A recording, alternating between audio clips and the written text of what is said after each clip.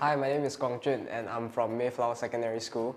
I have always struggled with English as a subject because of how my teachers taught me English. So, um, for example, when we are doing comprehension passages, they would, she would usually uh, give us a lot, a lot of exam papers and she would expect us to finish them all at one go. And then she would just go through it during class and uh, give and give us uh, give us the model answers.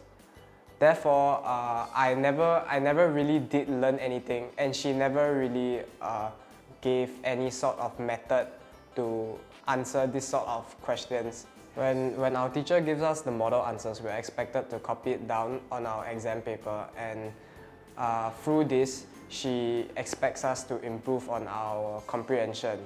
And I felt that this wasn't, this, uh, this didn't help at all.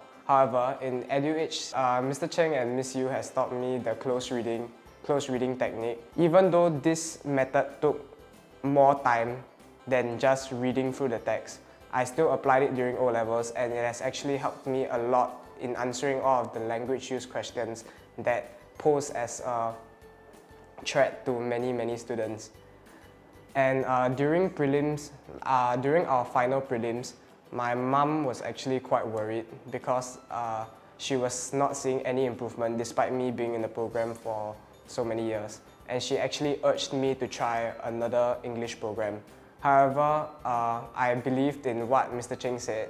I believe in the structures that they've taught me and I can see how, they, how those structures and methods have helped, can help me in answering the, the tough English questions and to tackle the paper more effectively.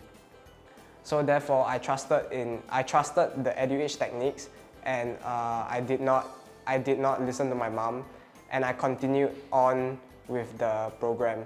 And uh, during my O levels, I actually made a three grade improvement to a B3. EduEdge's techniques are very useful, and they will help you in answering tackling your O level paper.